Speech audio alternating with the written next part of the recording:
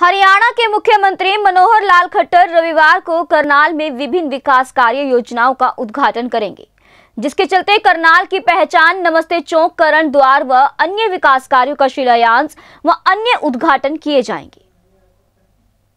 आज जिला उपायुक्त निशांत कुमार यादव एवं पुलिस अधीक्षक गंगाराम पुनिया द्वारा नमस्ते चौक पहुंचकर जायजा लिया गया एवं संबंधित विभाग के अधिकारियों को दिशा निर्देश भी दिए गए। आपको बता दें कि सीएम के आगमन से पहले डीसीएसपी व नगर निगम अधिकारियों ने मंगल सेन ऑडिटोरियम पहुंचकर यहाँ का जायजा लिया। यहाँ आपको यह भी बता दें कि मुख्यमंत्री मनोहर लाल खट्टर सुबह 11 बजे करनाल आएँगे।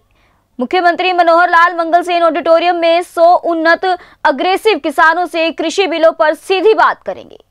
यहाँ यह भी माना जा रहा है कि सीएम कुछ किसानों को सम्मानित भी कर सकते हैं। यहाँ पर हरियाणा भर से अग्रेसिव किसानों को बुलाया गया है। बताते चले कि जिला प्रशासन ने सीएम के कल यानी रविवार को करनाल में आगमन को लेकर मंगल सेन ऑडिटोरियम पहुंचकर व्यवस्थाओं का जायजा लिया। हरियाणा के मुख्यमंत्री मनोहर लाल खट्टर रविवार को करनाल में विभिन्न विकास कार्य तथा योजनाओं का उद्घाटन करेंगे।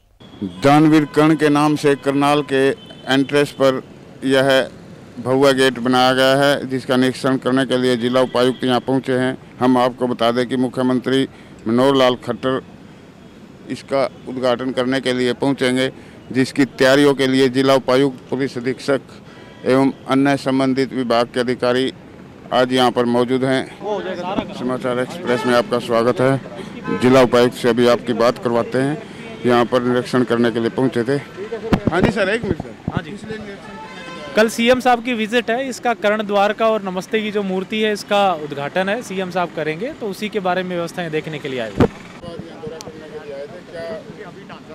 जैसे कि डी साहब ने आपको बताया है नमस्ते चौक और करण द्वार का उद्घाटन है। माननीय सीएम साहब यहाँ पर आएँगे और कल शाम छः बजे का प्रोग्राम है और उसकी व्यवस्था आज हम तैयार कर रहे हैं जो मैनेजमेंट है उसकी प्रॉपर हो जाए उसके लिए प्रशासन आज तैयारी कर रहे हैं। थोड़ी सफ़ाई व्यवस्था है उसकी सफ़ाई व्यवस्था थोड़ी हमारी कमज़ोर है उसको हम इम्प्रूव कर रहे हैं। और अभी हम इसको लगा के अपने सफ़ाई कर्मचारी इसको सारी इसको यस नहीं बहुत बढ़िया नमस्ते चौक हम तो बचपन से देखते आ रहे हैं यहीं का मैं रहने वाला हूँ पानीपत के पास ही मेरा गाँव है।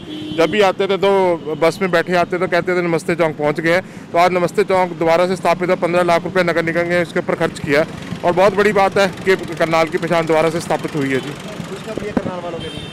और बहुत खुशखबरी जी, बहुत खुशखबरी। सबको मुबारक हो और सारे, सबको इनविटेशन भी है क्योंकि करनाल की पहचान है तो यहाँ पर हम बैठने की व्यवस्था कर रहे हैं और माननीय सीएम साहब भी यहाँ पर अपना संदेश देंगे तो सभी यहाँ पर आमंत्रित है, सभी करनालवासी यहाँ पर पहुँचेंगे तो आप देख रहे थे मुख्यमंत्री के दौरे को लेकर करनाल के नमस्ते चौक पर बहुआ तैयारियाँ की जा रही हैं, संबंधित विभाग के अधिकारी यहाँ पर पहुँचे हैं।